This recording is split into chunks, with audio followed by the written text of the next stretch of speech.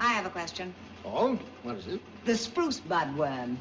How much damage is done annually to the American forest by the spruce bud worm? Ah, Miss Warren. That took me three weeks. I know, I know.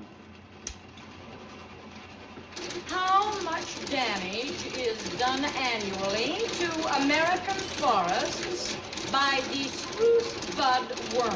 What was the answer, Bunny? Remember? $138,464,359 and uh, uh, some cents. Well, now let's see what Emmy has to say. One hundred thirty-eight million four hundred and sixty-four thousand three hundred and fifty-nine dollars and twelve cents.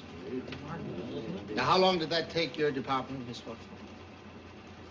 Oh, 45 minutes? Well, even at that, you can see that uh, this one operation alone saved your department 44 minutes.